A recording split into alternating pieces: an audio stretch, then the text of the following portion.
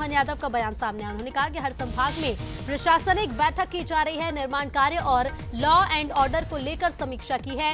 मंत्री, विधायक और सांसद से चर्चा हुई। योजनाओं के क्रियान्वयन को लेकर चर्चा की गई है। पीएम मोदी के विजन को आगे बढ़ाया जाएगा, ये कहना है सीएम डॉक्टर मोहन यादव का। संभागीय समीक्षा बैठक आज भोपाल संभाग की रखी गई थी और इस बैठक के बाद मुख्यमंत्री का बयान भी सामने आया।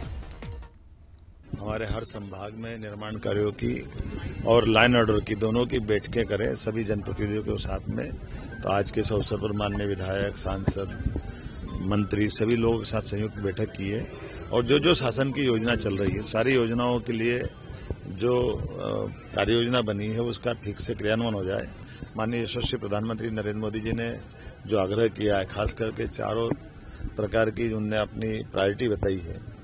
तो महिला, किसान, युवा, गरीब सभी योजनाओं के साथ साथ और संरचना का काम भी हो और रोज़गार परक हमारा अपना प्रदेश का चेहरा बने, मैंने इसी पे ध्यान और ज़्यादा संवाददाता दीपक द्विवेदी जुड़ रहे हैं। दीपक, संभागवार बैठक आज भोपाल का नंबर था। मुख्यमंत्री का कहना है कि आने वाले समय में सभी संभागों की इसी तरह से बैठक ली जाएगी।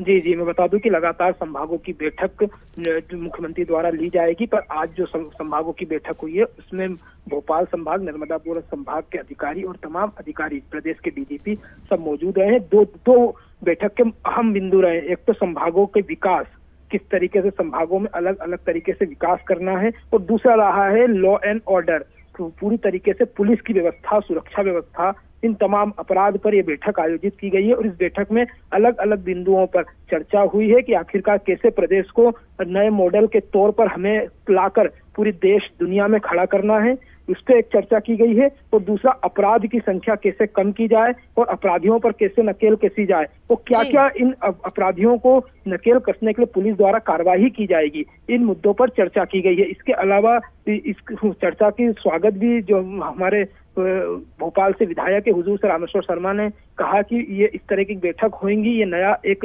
तरीका है तो इससे और भी विकास में आगे हम आगे बढ़ेंगे और प्रधानमंत्री के नेतृत्व में देश भी आगे बढ़ेगा। जी रितु। बिल्कुल, बिल्कुल दीपक शुक्रिया आपका जानकारी के लिए।